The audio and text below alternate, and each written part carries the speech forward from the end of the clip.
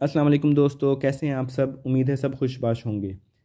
तो आज की हमारी ये वीडियो है हमारी कौमी क्रिकेट टीम के कप्तान बाबर आज़म के बारे में।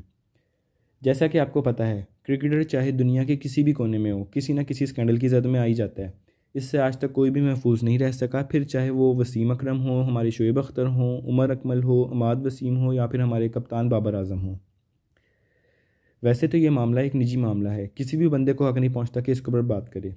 लेकिन अगर आप एक सेलिब्रिटी हो, एक पब्लिक फ़िगर हो और बात मीडिया में आ जाए, आपका स्कैंडल मीडिया में आ जाए तो फिर ये निजी मामला एक निजी मामला नहीं रहता, ये एक पब्लिक मैटर बन जाता है। खैर, बात का आगाज़ आज से तीन रोज़ कबल होता है जब एक हामजा नामी खातून लाहौर प्रेस क्लब में आती है और एक प्रेस कॉन्फ्रेंस का इनका करती है। और इस प्रेस कॉन्फ्रेंस में वो इतराफ़ करती है कि मेरा और कौमी क्रिकेट टीम के कप्तान बाबर आज़म का पिछले दस साल से अफेयर है, मगर अब बाबर मुझसे शादी करने से इनकार कर रहा है। इस खातून के मुताबिक ये और बाबर आज़म एक ही मोहल्ले में रहते थे और एक ही स्कूल में पढ़ते थे, जहाँ इनकी मोहब्बत हो गई। और जब इन दोनों ने इसके मतलब अपने घर वालों से बात की तो दोनों के घर वालों ने इनकार कर दिया। इस इनकार पर, इस खातून का कहना था कि इस इनकार पर मैं अपना सब कुछ छोड़ छाड़ कर बाबर आज़म के पास आ गई और बाबर आज़म ने इसे लाहौर के एक इलाके, फिरदौस मार्केट में मॉडल कॉलोनी में किराए के घर पर रखा।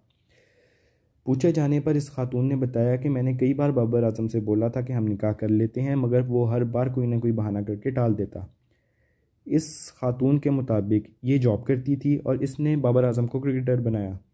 जैसा कि कोई कहीं भी जाना हो, कोई भी चीज़ ख़रीदनी हो या कोई भी काम करना हो, उसकी, उसके पैसे या कुछ भी चीज़ की ज़रूरत हो, वो ये खातून पूरा करती थी। ये एक पार्लर में जॉब करती थी और सारे पैसों के मामला ये देखती थी।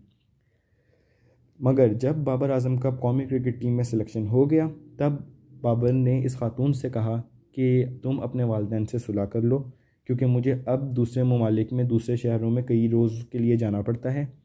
लिहाजा मैं भी बड़े परेशान रहता हूँ कि तुम पीछे अकेली हो, तुम लिहाजा अपने वालदेन से सुलह कर लो। और बाबर आज़म के कहने पर ही मैंने सुलह कर ली। और अब उसका जब रवैया बदलता मैंने देखा तो मैंने इसके मतलब से सवाल किया, जिससे उसने इनकार, साफ़ मुझसे इनकार कर दिया कि मैं अब तुमसे शादी नहीं कर सकता। इस खातून का, इस प्रेस कॉन्फ्रेंस में ही कहना था कि उसने बाबर आज़म पर एफआईआर भी कटवाई, जिस पर उसने उसे जान की धमकी भी दी। और ये मामला लेकर वो पीसीबी में भी गई, लेकिन पीसीबी एक इदारा है और वो किसी के निजी मामला में दखल अंदाजी नहीं करता तो उसको वहाँ से भी यही जवाब मिला। मगर ये सारी की सारी कहानी जो है इस खातून के मुताबिक ही है, इस खातून ने ही एतराफ़ किया है और इस खातून ने ही ये सारी बात कही है। मगर बाबर आज़म ने इस पूरे वाक़े के मतलब चुप साधी हुई है और कोई एक लफ्ज़ भी इसके मतलब नहीं कहा।